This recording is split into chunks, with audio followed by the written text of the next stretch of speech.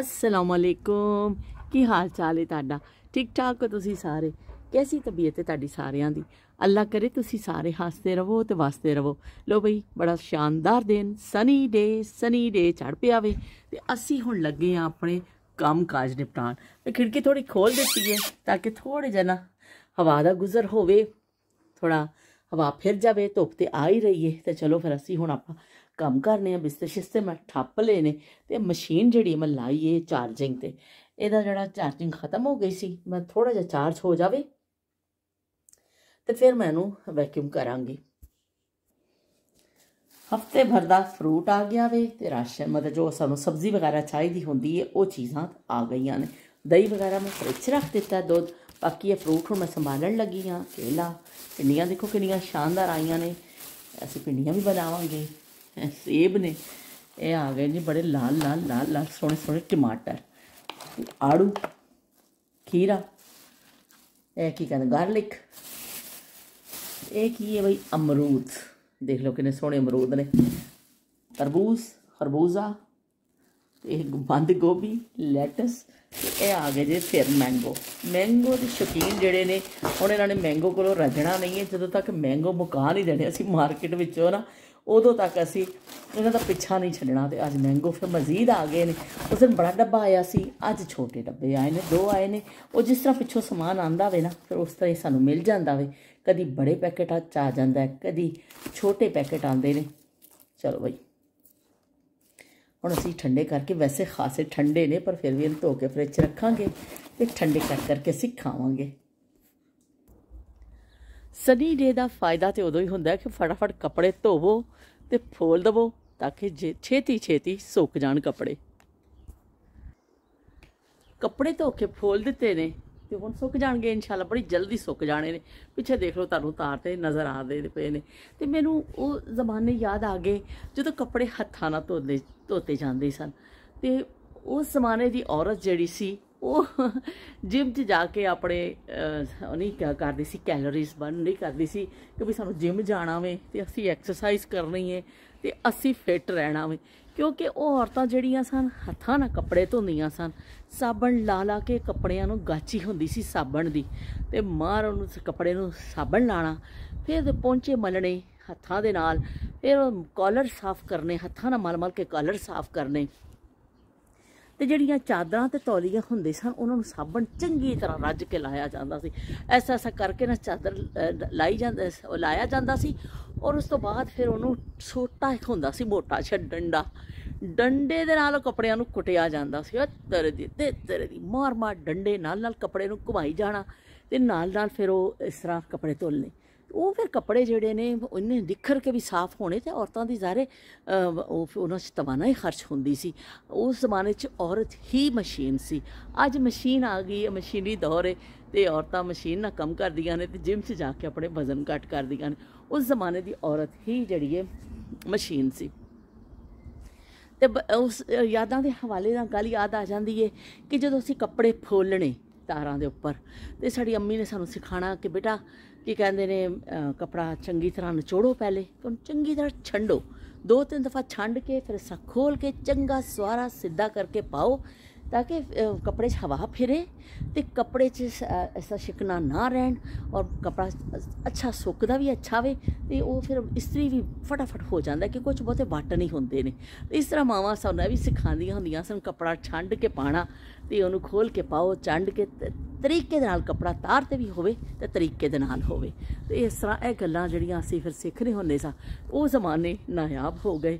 ਹੁਣ ਜਿਹੜੇ ਨੇ, ਹੁਣ ਵਾਸ਼ਿੰਗ ਮਸ਼ੀਨ ਦਾ ਦੌਰ ਹੈ ਹੁਣ ਉਹ ਮਸ਼ੀਨ 'ਚ ਕੱਪੜੇ ਪਾਓ, ਕੱਢੋ, ਉਸਾਂ ਚੁਰੜ ਮੁੜ ਚੁੱਕ ਕੇ ਤੇ ਖਿਲਾਰ ਦਵੋ। ਨਾ ਕੋਈ ਠੰਡ ਦਾ ਆਵੇ ਕੱਪੜਿਆਂ ਨੂੰ ਤੇ ਨਾ ਕੁਝ ਹੋਰ ਤੇ ਬਸ ਬਈ, ਚੱਲ ਰਹੀ ਹੈ ਦੁਨੀਆ ਇਸ ਤਰ੍ਹਾਂ ਹੀ ਤੇ ਉਹ ਵੀ ਮੈਂ ਤੁਹਾਨੂੰ ਅੱਜ ਦਿਖਾਣੀ ਆ।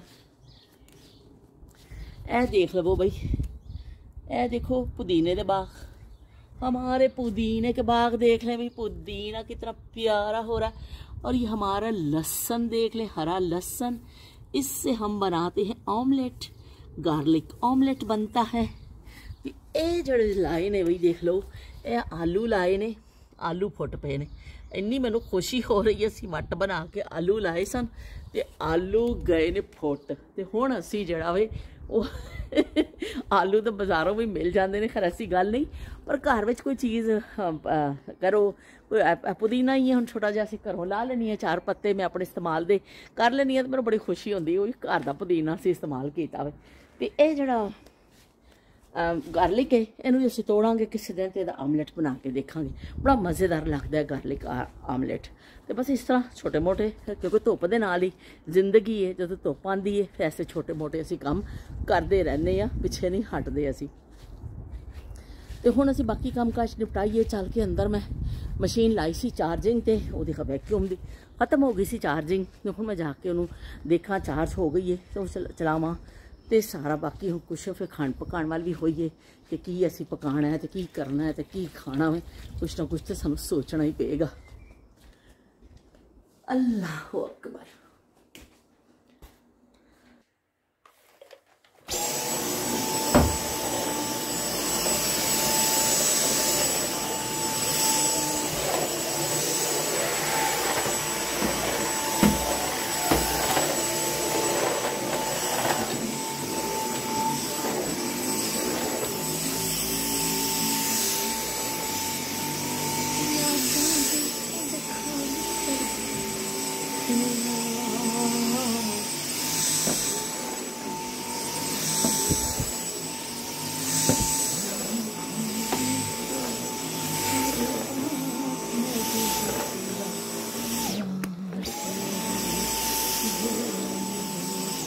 ਦੇਖੋ ਜੀ, ਮੇਰਾ ਸਮਾਨ ਪਿਆ ਵੇ। ਇੱਥੇ ਹੁਣ ਇਹਨਾਂ ਮੈਂ ਗੱਦੀਆਂ ਸ਼ਦੀਆਂ ਠੀਕ ਕਰਾਂਗੀ ਪਹਿਲਾਂ ਮੈਂ ਆਪਣੇ ਵੈਕਿਊਮ ਚਲਾ ਲਵਾਂ।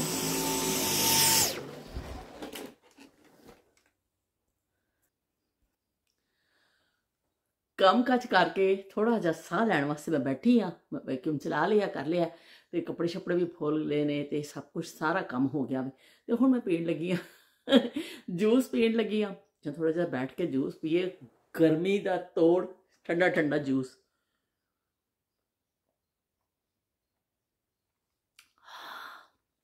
ਵਕਤੀ ਬੜਾ ਸਕੂਨ ਮਿਲਦਾ ਗਰਮੀ ਤੋਂ ਠੰਡੀ ਠੰਡੀ ਚੀਜ਼ ਪੀਂਦੇ ਹੋ ਨਾ, ਤੇ ਫਿਰ ਤਾਂ ਦਿਲ ਕਰਦਾ ਕਿ ਮੂੰਹ ਤੋਂ ਹਟਾਓ ਹੀ ਨਾ।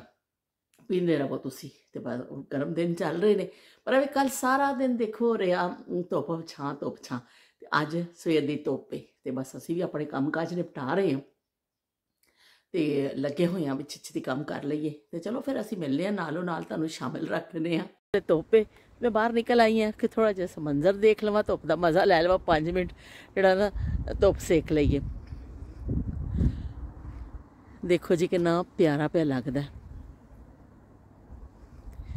क्या देखते हो सूरत तुम्हारी क्या चाहते हो चाहत तुम्हारी ना हम जो कह दे कह ना सकोगे लगती नहीं ठीक नीयत तुम्हारी ਰਾਤ ਦੇ 10 ਵਜ ਗਏ ਨੇ ਤੇ ਮੈਂ ਤੇ ਦੁਪਹਿਰ ਜਿਹੜੀ ਕੱਲ ਦੀ ਬਚੀ ਹੋਈ ਸਬਜ਼ੀ ਸੀ ਔਰ ਚਾਵਲ ਪਏ ਸਨ ਮੈਂ ਉਹ ਖਾ ਲੇ ਮੇਰੇ ਮੀਆਂ ਜੀ ਨੇ ਫਰਮਾਇਸ਼ ਕੀਤੀ ਹੈ ਕਿ ਨਮਕੀਨ ਸਵਈਆਂ ਖਾਣ ਦੀ। ਤੇ ਚਲੋ ਵੀ ਬਣਾ ਲੈਨੇ ਨਮਕੀਨ ਸਵਈਆਂ ਅੱਜ ਕਿਹੜਾ ਦੇਰ ਲੱਗਦੀ ਹੈ? ਫਟਾਫਟ ਬੜੀ ਈਜ਼ੀ ਰੈਸਪੀ ਹੈ ਕਿ ਕੋਈ ਮੁਸ਼ਕਲ ਹੀ ਨਹੀਂ ਹੈ। ਮੈਗੀ ਵਾਲਿਆਂ ਦੀ ਤੁਸੀਂ ਪਾ ਲਵੋ, ਦੋ ਚਿਕਨ ਕਿਊਬਸ ਇਹਦੇ ਵਿੱਚ ਪਾ ਲਵੋ।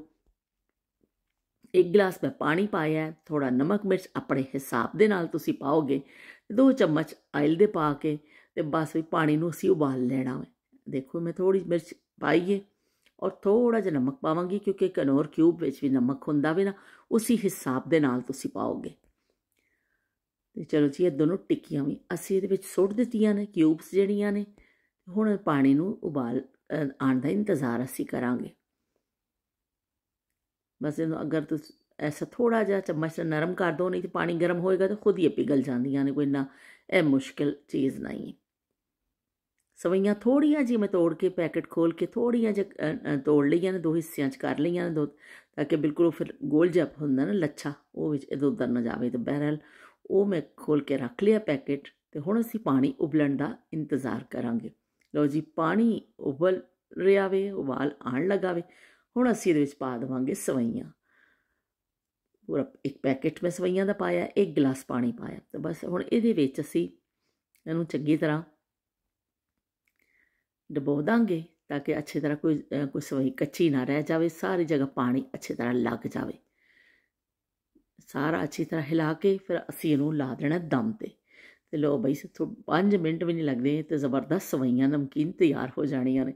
ਤੇ ਅੰਮੀ ਯਾਦ ਆ ਜਾਂਦੇ ਨੇ, ਅੰਮੀ ਸਾਨੂੰ ਬਚਪਨ 'ਚ ਜਦੋਂ ਸਾਨੂੰ ਭੁੱਖ ਲੱਗਦੀ ਸੀ, ਕੋਈ ਐਕਸਟਰਾ ਜਿਵੇਂ ਬੱਚਿਆਂ ਨੂੰ ਲੱਗਦੀ ਹੈ ਕਿ ਅੰਮੀ ਭੁੱਖ ਲੱਗੀ ਕਿ ਅੰਮੀ ਕਹਣਾ, ਆਓ ਤੁਹਾਨੂੰ ਸੇਵੀਆਂ ਬਣਾ ਕੇ ਦੇਣੀ ਆ ਤੇ ਸਾਡੀ ਮਾਂ ਨੇ ਸਾਨੂੰ ਇਸ ਤਰ੍ਹਾਂ ਸੇਵੀਆਂ ਪਕਾ ਕੇ ਦੇਣੀਆਂ।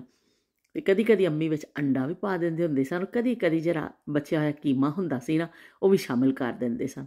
ਤੇ ਇਸ ਤਰ੍ਹਾਂ ਫਿਰ ਸੇਵੀਆਂ ਸਿਖਾ ਖਾ ਲੈਂਦੇ ਸਾਂ ਕੇ ਮਿੱਠੀਆਂ ਤੋਂ ਇਲਾਵਾ ਨਮਕੀਨ ਸੇਵੀਆਂ।